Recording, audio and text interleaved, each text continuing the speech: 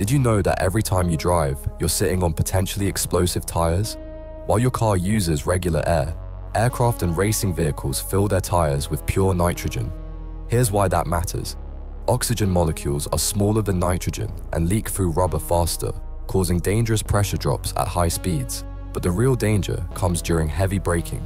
Regular air contains moisture that flash converts to steam under extreme heat, creating explosive pressure that can blow out tires instantly.